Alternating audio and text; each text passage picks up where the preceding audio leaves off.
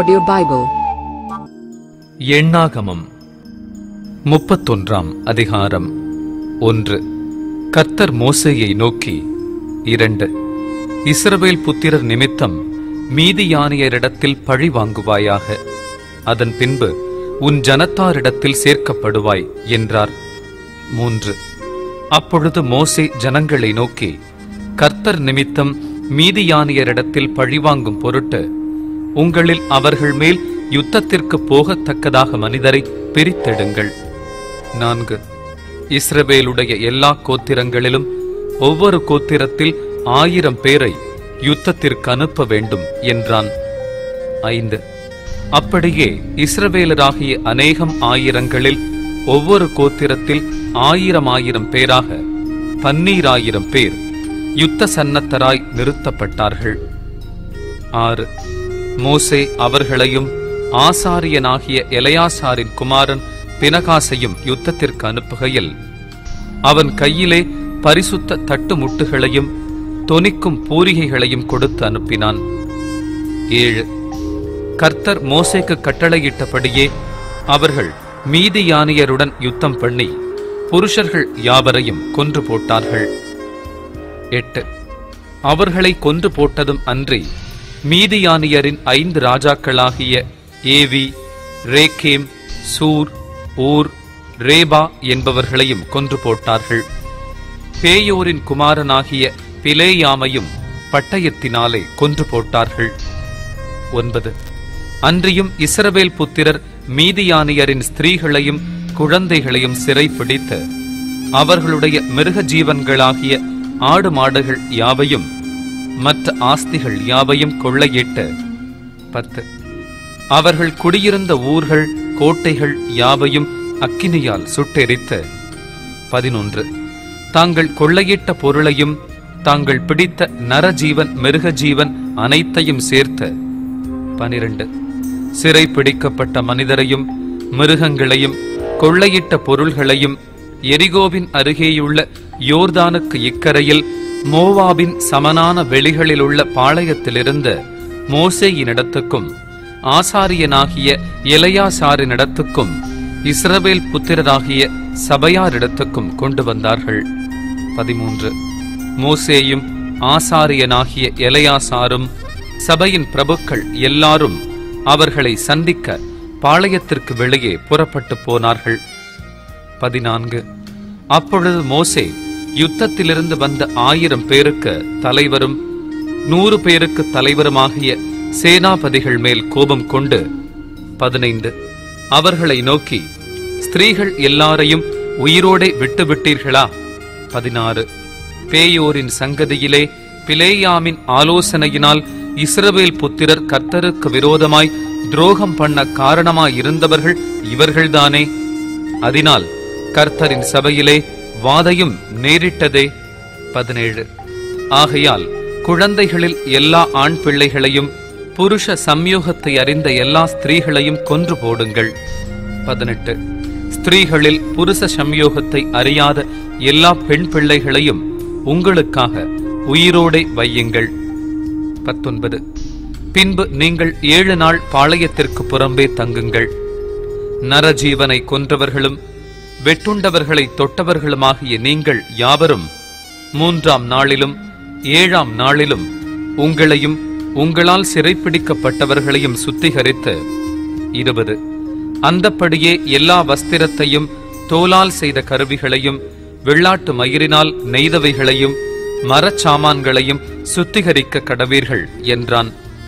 இருபத்தொன்று ஆசாரியனாகிய எலையாசாரும் யுத்தத்திற்கு போய் வந்த படை வீரரை நோக்கி கர்த்தர் மோசேக்கு கட்டளையிட்ட விதி பிரமாணம் என்னவென்றால் இருபத்தி இரண்டு அக்கினிக்கு நிற்கத்தக்கவைகளாகிய பொன் வெள்ளி வெண்கலம் இரும்பு தகரம் ஈயம் ஆகிய இவைகளெல்லாம் சுத்தமாகும் படிக்க இருபத்தி மூன்று அவைகளை அக்கினியிலே போட்டெடுக்க கடவீர்கள். தீட்டு கழிக்கும் தண்ணீராலும் அவைகள் சுத்திகரிக்கப்பட வேண்டும். அக்கினிக்கு நிற்கத்தகாதவைகளை எல்லாம் தண்ணீரினால் சுத்தம் பண்ண கடவீர்கள். இருபத்தி நான்கு ஏழாம் நாளில் உங்கள் வஸ்திரங்களை தோய்க்க வேண்டும். அப்பொழுது சுத்தமாயிருப்பீர்கள். பின்பு நீங்கள் பாளையத்திற்குள் வரலாம் என்றான். இருபத்தைந்து. கர்த்தர் மோசேயை நோக்கி இருபத்தாறு. பிடித்து கொண்டு வரப்பட்ட மனிதரையும் மிருகங்களையும் நீயும் ஆசாரியனாகிய இளையாசாரும் சபையினுடைய பிதாக்களாகிய தலைவரும் தொகை பார்த்து இருபத்தேழு. கொள்ளையிடப்பட்டதை இரண்டு பங்காக பங்கிட்டு யுத்தத்திற்கு படையெடுத்து போனவர்களுக்கும் சபை அனைத்திற்கும் கொடுங்கள். இருபத்தெட்டு. மேலும் யுத்தத்திற்கு போன படை வீரரிடத்தில் கர்த்தருக்காக மனிதரிலும் மாடுகளிலும் கழுதைகளிலும் ஆடுகளிலும் ஐநூற்றிற்கு ஒரு பிராணி வீதமாக பகுதி வாங்கி இருபத்தொன்பது. அவர்களுடைய பாதி பங்கில் எடுத்து கர்த்தருக்கு ஏறெடுத்து படைக்கும் படைப்பாக ஆசாரியனாகிய எலையாசாருக்கு கொடுக்க வேண்டும். முப்பது. இஸ்ரவேல் புத்திரரின் பாதி பங்கிலோ மனிதரிலும் மாடுகள் கழுதைகள் ஆடுகளாகிய சகலவித மிருகங்களிலும் ஐம்பதற்கு ஒன்று வீதமாய் வாங்கி அவைகளை கர்த்தருடைய வாசஸ்தலத்தின் காவலை காக்கும் லேவியருக்கு கொடுக்க வேண்டும் என்றார். முப்பத்தொன்று. கர்த்தர் மோசேக்கு கட்டளையிட்டபடியே மோசேயும் ஆசாரியனாகிய எலையாசாரும் செய்தார்கள். முப்பத்தி இரண்டு படை வீரர் கொள்ளையிட்ட பொருளில் ஆறு லட்சத்து எழுபத்தையாயிரம் ஆடுகளும் முப்பத்து மூன்று எழுபத்தீராயிரம் மாடுகளும் முப்பத்து நான்கு அறுபத்தோராயிரம் கழுதைகளும் மீதியாயிருந்தது. முப்பத்தைந்து. புருஷ சம்யோகத்தை அறியாத ஸ்திரீகளில் முப்பத்தீராயிரம் பேர் இருந்தார்கள். முப்பத்தாறு. யுத்தம் செய்ய போனவர்களுக்கு கிடைத்த பாதி பங்கின் தொகையாவது ஆடுகள் மூன்று லட்சத்து முப்பத்தேழாயிரத்து ஐநூறு. முப்பத்தேழு. இந்த ஆடுகளில் கர்த்தருக்கு பகுதியாக வந்தது அறுநூற்று எழுபத்தைந்து. முப்பத்தெட்டு. மாடுகள் முப்பத்தாறாயிரம். அவைகளில் கர்த்தருக்கு பகுதியாக வந்தது எழுபத்தி இரண்டு முப்பத்தொன்பது. கழுதைகள் முப்பதினாயிரத்து ஐநூறு. அவைகளில் கர்த்தருக்கு பகுதியாக வந்தது அறுபத்தொன்று. நாற்பது. நரஜீவன்கள் பதினாறாயிரம் பேர். அவர்களில் கர்த்தருக்கு பகுதியாக வந்தவர்கள் முப்பத்தி இரண்டு பேர். நாற்பத்தொன்று. கர்த்தருக்கு ஏறெடுத்து படைக்கும் அந்த பகுதியை மோசே கர்த்தர் தனக்கு கட்டளையிட்டபடியே ஆசாரியனாகிய எலையாசாரிடத்தில் கொடுத்தான். நாற்பத்தி இரண்டு. யுத்தம் பண்ணின பேர்களுக்கும் இஸ்ரவேல் புத்திரருக்கும் மோசே பாதி பாதியாக பங்கிட்டதின்படியே சபையாருக்கு வந்த பாதி பங்காவது நாற்பத்து மூன்று. ஆடுகளில் மூன்று லட்சத்து முப்பத்தேழாயிரத்து ஐநூறு. நாற்பத்தி நான்கு. மாடுகளில் முப்பத்தாறாயிரம். நாற்பத்தைந்து. கழுதைகளில் முப்பதினாயிரத்து ஐநூறு. நாற்பத்தாறு. நரஜீவன்களில் பதினாயிரம் பேருமே. நாற்பத்தேழு.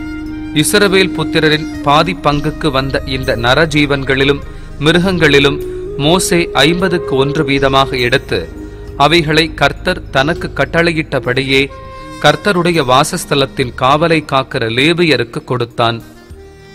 நாற்பத்தெட்டு.